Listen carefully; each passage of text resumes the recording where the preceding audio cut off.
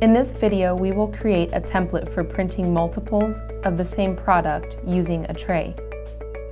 First, we will start by opening the EPS tray template file provided by the factory to gather some information. For this example, I'm going to use the 3-in-1 tray factory file. And I will take note of the horizontal and vertical spacing, as well as the starting points listed here. Now open your RIP software and click the View tab and the Template option to create and save a tray template. Select the best shape to match the tray cutouts. In this case, we will select the circle to match our 3-in-1 printing tray. We will create the template shape and size first. Refer to the starting points listed in your factory template and enter these now.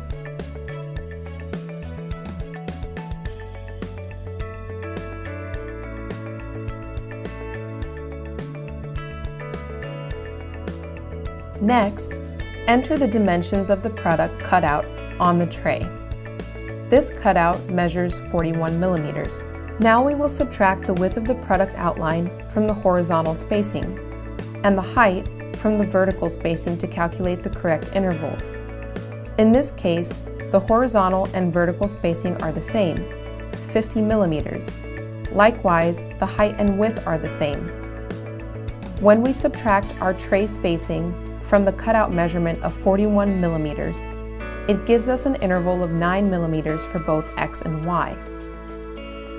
Now using the intervals, we'll multiply the template across and down the bed according to the tray.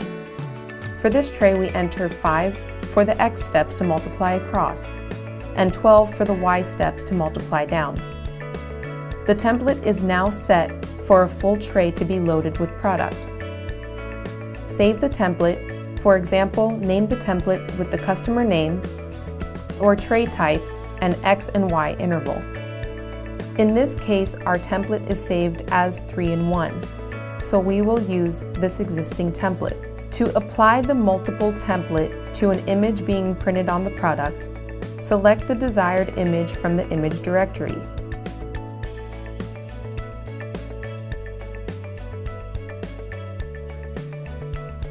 Then select View, Template, select the Save Template and click Apply to center the image.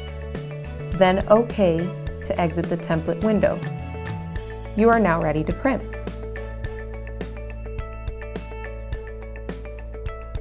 Once the template is made, it should cover the whole imprint area available.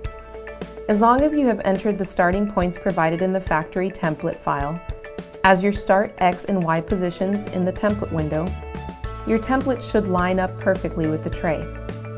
If you need to adjust the size of your imprint, you can use the Output Size feature in the Layout tab to enter a specific measurement. Then click the Center button at the top of the tab to recenter the newly sized image. It's a good idea to create two template files, one for the entire tray and one for a single product. You can do this by reducing the X and Y steps to 1 in your template window and saving a new template. This single object template allows the operator to test print one product at a time, or to ensure that the template is aligned with the tray before printing a full tray of product. Tip segment. Once the template files are created and saved, you can file them in the directory.